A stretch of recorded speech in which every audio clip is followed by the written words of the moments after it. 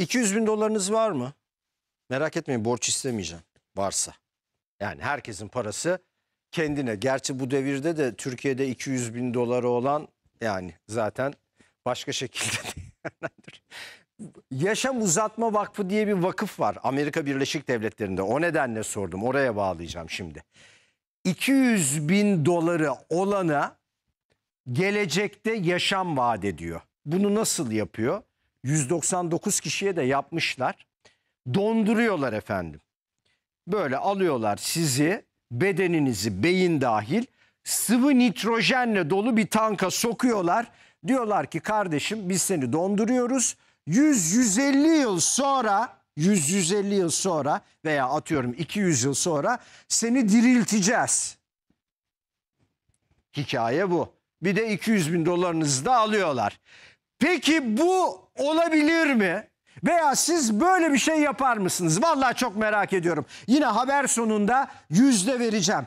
Caner Karaer Official yazar mısınız bana? 200 bin zengin olsanız böyle bir işe kalkışır mısınız? Geleceği görmek adına 200 bin dolar bu işe verir misiniz? Tabii ki bu vakfı umut tacirliğiyle suçlayanlar da çok fazla.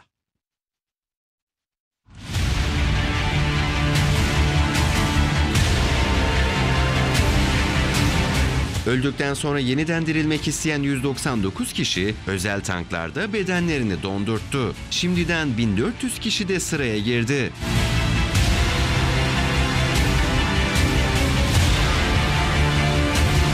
Amerika'da vakıf adı altında faaliyet gösteren özel bir laboratuvar, gelecekte yeniden hayata dönebileceklerine inanan 199 insanın cansız bedenini ve beyinlerini dondurdu.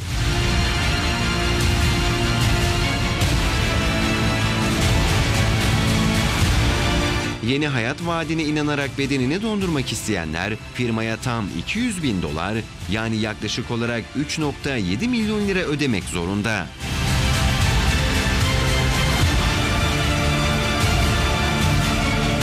Dondurulan bedenler arasında sevenlerinin minik Ains adıyla çağırdığı 2 yaşındaki Taylandlı Matrin de vardı. Taylandlı aile 2 yaşındaki kızlarını 2015 yılında beyin kanseri nedeniyle kaybetti. Minik kızları Enzin korunmasını isteyen aile bedenini dondurdu.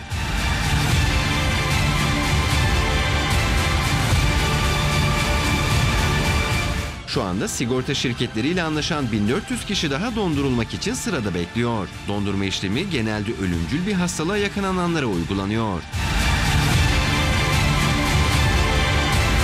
Gelecekte bu hastalıklara karşı yeni tedavi yöntemleri gelişeceğini düşünenler o dönemde uyandırılıp rahatça tedavi olmayı hedefliyor. Zaten dondurma işlemi de ancak onlar hayatını kaybettikten sonra uygulanabiliyor. Yani sağlıklı insanların dondurulması yasak. Vakfa kendileri ya da aile bireyleri dışında evcil hayvanlarını dondurmak için başvuranlar bile var.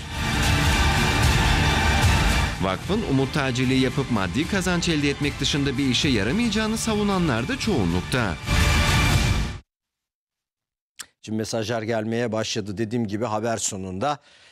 Bilgilendireceğim sizleri. Tabii ki ben inanmıyorum şahsen zaten e, a- dini inancı kuvvetli olan insanlar, Allah'a inanan insanlar da böyle bir şeye meyletmez diye düşünüyorum.